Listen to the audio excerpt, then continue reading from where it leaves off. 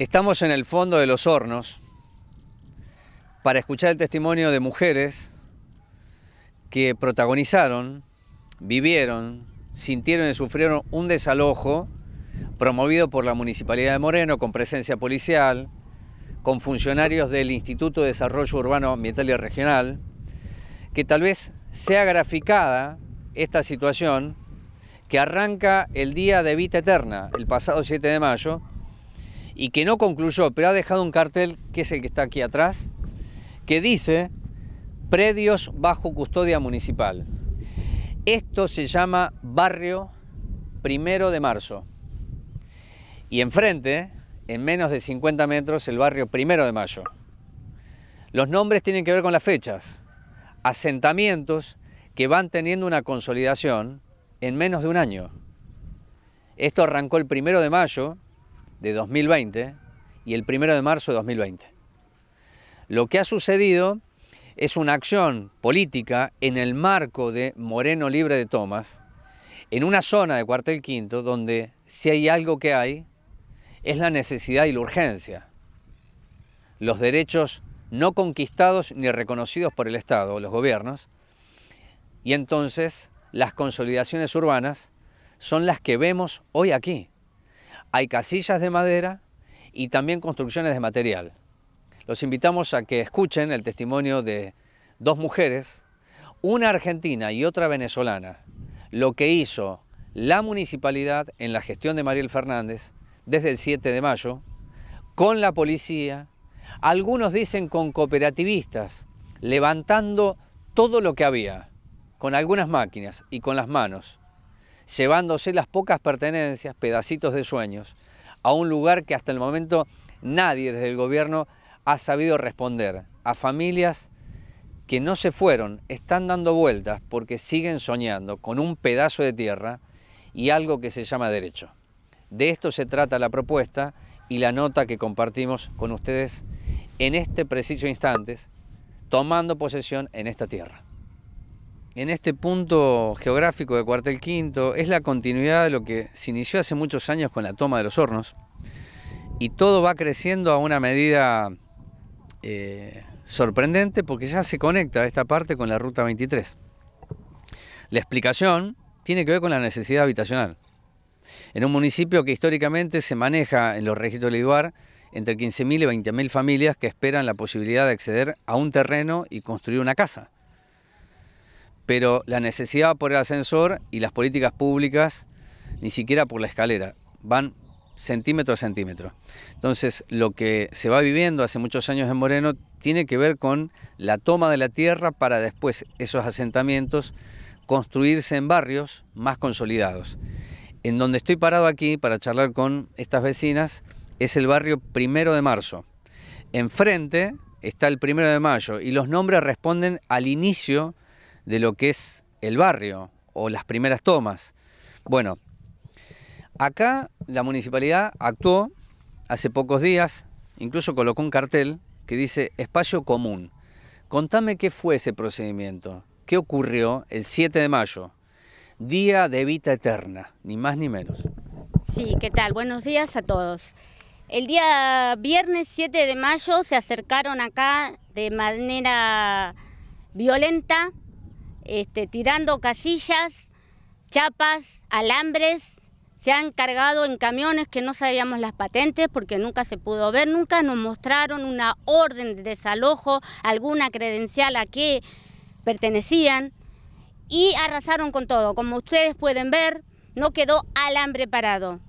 No nos dieron explicaciones a dónde se han llevado lo que era casillas, chapa, eh, cosas de las personas. Hasta si no llegaban, sacaban la tele, lo que tenían adentro las personas. Las personas, el que tiene un trabajo obvio que sale a trabajar, cuida su trabajo. Esto, esto fue no solo el día viernes 7, volvió a repetirse el día miércoles siguiente de la semana. El día sábado y el día domingo fueron arrestadas seis personas. Así que... ¿Fueron arrestadas porque la denuncia que puede pesar es que venden los terrenos? Te lo pregunto porque eso también es parte de la historia de las tomas, ¿no? Quienes poseen la tierra, venden la tierra y comercializan algo que no es propio. Bueno, no, pero no fue por ese tema, fue porque un vecino estaba con, la, con su casilla tratando de levantarla y estar, y vinieron y le dijeron que no siga, que no siga. Y él muy respetuosamente le dijo, bueno, pero ustedes no muestran papeles, nada, y solamente por ese simple hecho lo llevaron preso. Y así fueron seis personas más, los tuvieron detenidos en la comisaría de cuartel quinto hasta las 12 de la noche. Así que no nos dan explicaciones, vienen y arrasan con todo, con mucha violencia, con mucha autoridad, dicen pertenecer a quién pertenecen, pero no muestran ninguna credencial, no, no hubo ninguna orden de desalojo, si, si era una orden de desalojo, nunca nos dijeron nada. A los vecinos nunca nadie nos avisó que esto iba a suceder. Se presentaron con fuerzas policiales y arrasaron, como ustedes lo pueden ver. Esas personas que tenían una casilla aquí, ¿vivían o estaban por vivir, porque muchos, como dijiste vos en tu explicación, trabajan, es decir, están trabajando para imaginar que en este lugar pueden montar una, una casilla y mañana construirse una casa. Como vemos, es decir, acá hay casas de materiales y otras que son más precarias, ¿no? Exactamente, así es. Muchas de las personas viven, viven, están, y muchas por el tema pandemia, por el tema situación económica, alquilan, están alojados con su familia, con su suegro, amontonados, como se diría. Entonces, este, no le da, porque yo me crucé con una vecina que me dice, yo soy madre soltera, tengo criaturas, tengo un trabajo de dos días y tengo para darle de comer a mis hijas. O sea, no pueden comprarse una casilla precaria porque todo es dinero todo es dinero. Entonces no es porque no estén acá viviendo porque no quisieran habitar este suelo, esta tierra, porque no han prometido que esto iba a ser un barrio, un barrio con todo, no han hecho ilusionar, no han jugado, han jugado con nuestros sentimientos, con nuestros sueños. Así que se lo pueden decir todos los vecinos. Eh, de la forma que vinieron, interrumpieron, hicieron, fue muy violenta, muy violenta, porque nunca se avisó a nadie lo que iba a suceder. Te hago la última pregunta. Las personas que habían puesto la casilla aquí y que hoy no tienen nada, ni siquiera saben en dónde están sus pertenencias, ¿se fueron del barrio? Y algunos están, ya le digo, volvieron con sus familiares eh, o alquilan, porque hay muchas personas que alquilan. Y otras están, bueno, con la suegra, con algún pariente. Em, hay un hombre que quedó con sus dos hijitos en la calle, le tiraron la casilla, su mujer internada. Acá no tuvimos asistencia de, en ese momento de lo sucedido, nadie se presentó a ver qué había si los chicos. Tenemos fotos, tenemos videos, tenemos todo de cómo los chicos miraban lo que sucedía y lloraban con sus madres, corriendo porque le tiraban lo único que tenía, una casillita. Eh, fue muy, muy horrible, muy horrible, mucha violencia mucha humillación hacia las personas. Nuestros derechos tenemos, acá una constitución lo dice, tenemos derechos y fueron humillados los derechos, fueron boicoteados los derechos. Bueno, tiene la constitución nacional y dice tenemos derecho a vivir a una vida sin violencia, ¿verdad? Esto arrancó el 7 de mayo, incluso esta comisión vecinal ha presentado un recurso de amparo y ha ido a la justicia. Ahora le voy a pedir a, ella que se acerque, porque me parece que hay algo eh, que tal vez muchos no lo comprendan y que responde a lo que sucedió el 7 de mayo. Es decir, quien ingresa a un terreno ingresa por una necesidad. Yo no puedo negar que hay muchos que utilizan la necesidad y comercializan.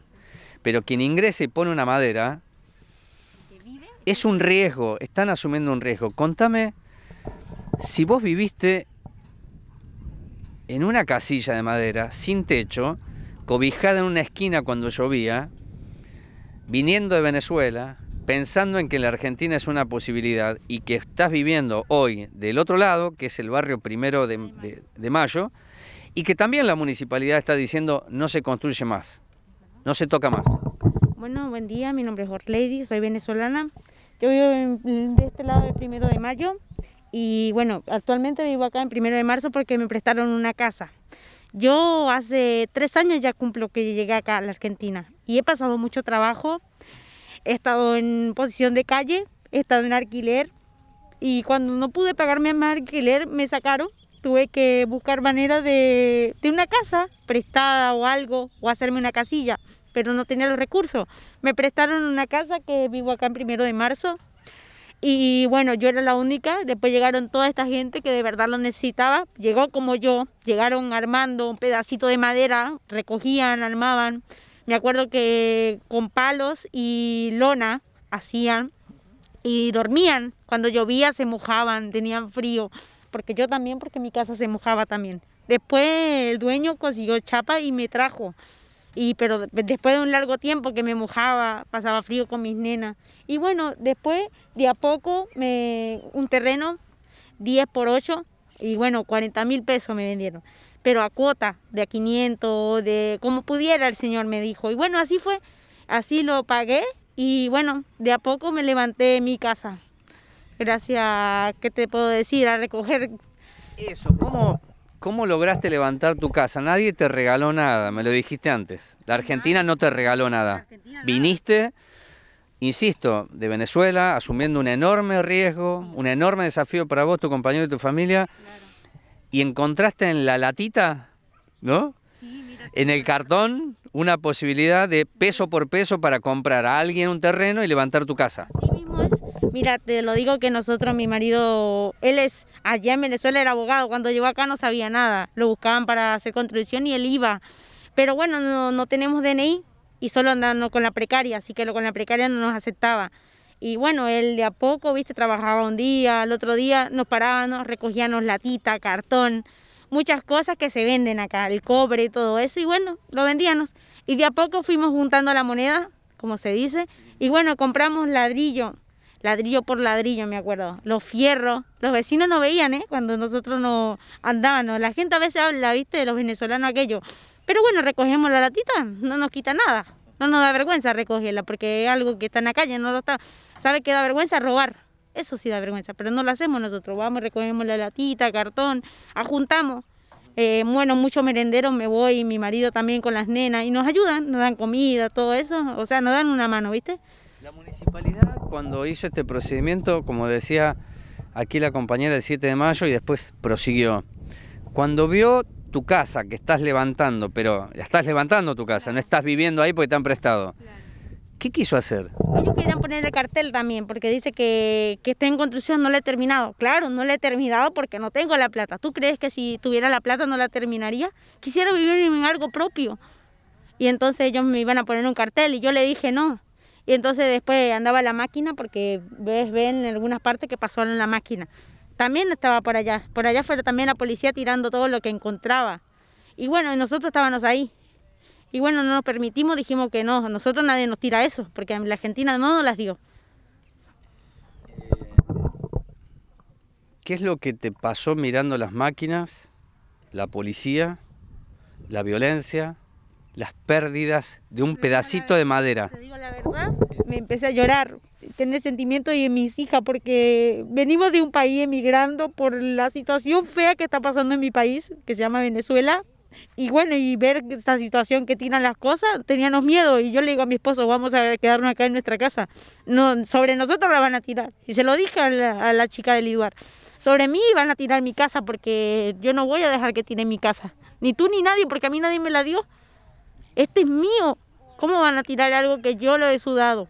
Que yo he pasado frío y a veces comemos pan con huevo para, para tener algo para casa. Y la chica, no, solo bueno, vamos a, te damos un plazo de tres días para que te armes algo o le pongas el techo y vivas. El día que vengamos, que tiene que estar viviendo.